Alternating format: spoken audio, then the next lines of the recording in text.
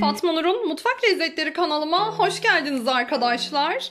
Bugün size için tarifim lokanta usulü domates çorbası. Domates çorbası için malzemelerimiz 3 adet domates. Evinde taze domates olmayanlar bu şekilde arkadaşlar konserve domates sosu kullanabilirler. 3,5 su bardağı soğuk su. 1 çay bardağı dolusu süt. 2 yemek kaşığı un. 1 yemek kaşığı dolusu sıvı yağ. 1 yemek kaşığı domates salçası, 1,5 yemek kaşığına yakın tereyağı kullanacağım, 2 adet defne yaprağı ve kaşar peynir üzerine süslemek için arkadaşlar. Tarifimi yapmaya başlıyorum. Bir takipçimizin isteği üzerine domates çorbası yapıyoruz. Domatesimin kabuklarını soyuyorum. İki türlü gösteriyorum. Bir tane domatesimin kabuğunu soydum. Robotumun içerisine aldım. Hazır domates sosum vardı. Onu da üzerine ilave ediyorum. İsteyen çünkü domates sosuyla da yapabilir evde hazırlamış olduğu konserve ve robotundan çekiyorum. Evde taze domates olmayanlar domates sosu kullanabilirler. Ocağımın altını açıyorum. 1,5 yemek kaşığı tereyağımı tenceremin içerisine alıyorum. Tereyağının hafif pembeleşmesini bekliyorum. Birazcık kızartıyorum daha doğrusu.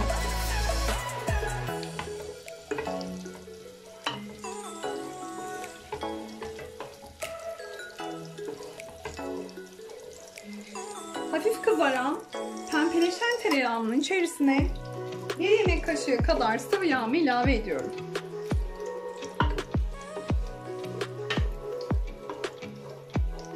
Bunu biraz karıştırıyorum.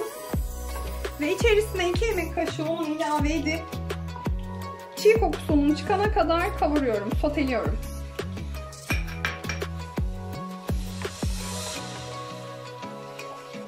Helvası yaparken yapmış olduğumuz mantıkla ilerliyor arkadaşlar. Domates çorbasının da ilk giriş aşaması. Ve güzel böyle kızarmış, hoş bir un kokusu gelene kadar birazcık böyle soteliyorum.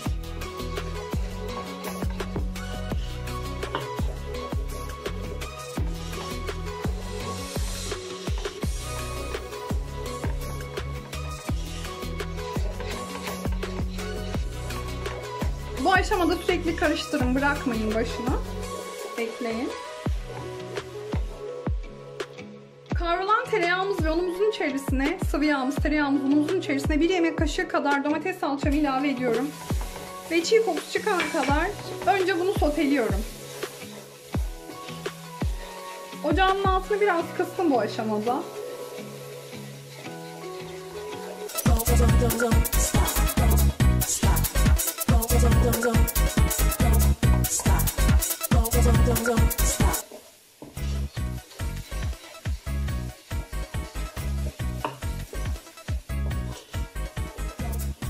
Her şeyde kavrulmuş kokusu olması çok güzel olacak.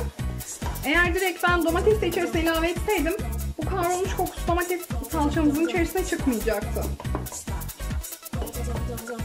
Birazcık soteliyorum. Onunla birlikte domates salçamı.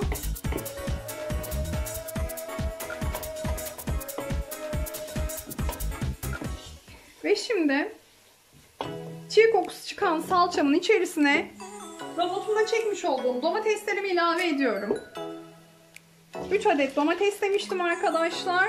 Eğer domates kullanmayacaksanız yarım kiloluk şişelerdeki domates sosunuzdan kullanabilirsiniz. Atlamaya başlayan domateslerimin içerisine 2 adet defne yaprağını ilave ediyorum.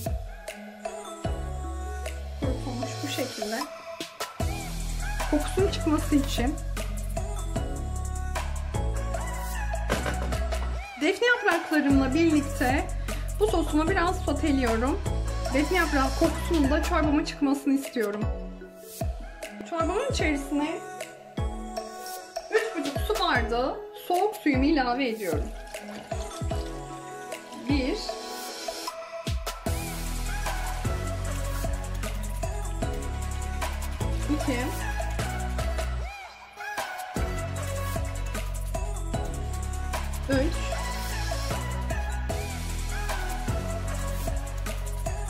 üç buçuk.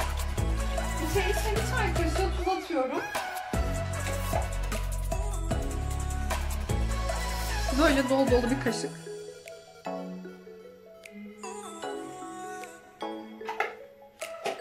Çay kaşığı burnuyla karabiber ilave ediyorum.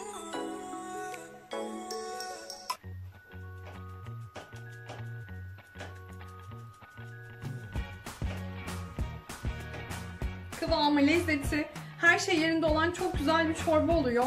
Deneyecek herkes gerçekten çok beğenecek buna eminim. Hiç içerisinde çiğ kokusu olmuyor çorbamızın. Arada karıştırıyorum.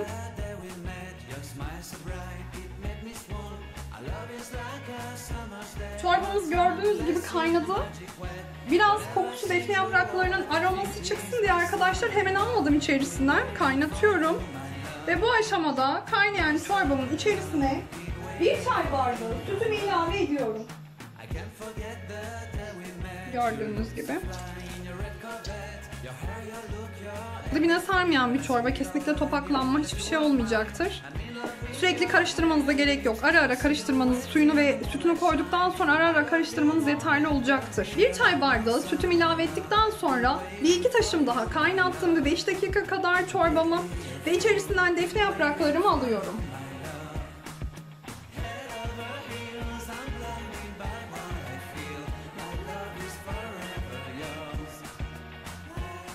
Görüyorsunuz alıp atıyorum.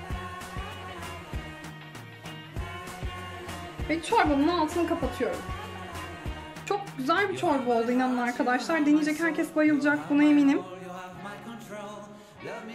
Kasemin içerisine alıyorum. Kenarlara damlayabilir kepçenizden. Peçete yardımıyla temizleyin arkadaşlar.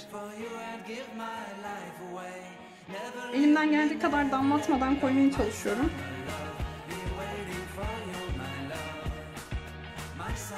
Çorbamızı kaşar peyniriyle servis ediyoruz bolca.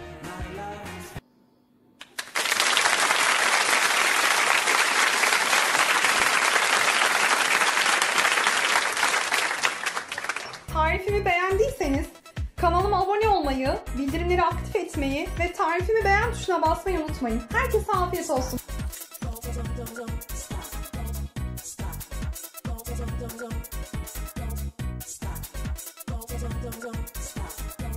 Stop.